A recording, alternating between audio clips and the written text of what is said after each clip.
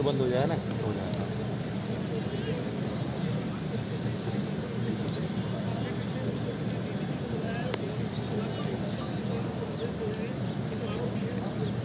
कुछ शब्दों में जिस रूप में जिस रूप में की गई जिस रूप में थाने में ले आए गए और थाने वालों ने किया, प्रेरणा के अंदर और जिस रूप में आगे क्या हुआ किसी को नहीं मालूम किस प्रकार उनको मारपीट की गई जलाया गया।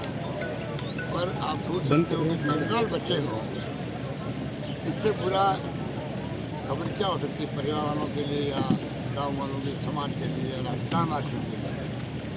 तो बहुत बड़ी घटना है। उस रूप में सरकार ने बाकायदा हमारे पुलिस वहाँ की दिल्ली पुलिस मैं संपर्क रखा मैंने मुख्यमंत्री हरियाणा से मैंने बातचीत करी उन्होंने वादा किया कि हम लोग पूरी तरह जो कल्पित है जो उनके उनको अरेस्ट करवाएँगे कोई कमी नहीं आना देंगे सारी बातें होंगी इतने दिन बीत जाने के बावजूद भी वो लोग।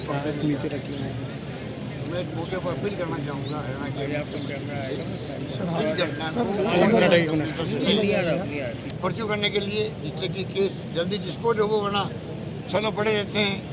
तमाम तरह के कदम उठाने का हम लोगों ने तय किया है और उसी रूप में इस केस को हम चाहेंगे जल्दी से जल्दी पकड़े भी जाएँ, चालान पेश भी हो और आगे केस बढ़े। परिवार में मैंने बात करी।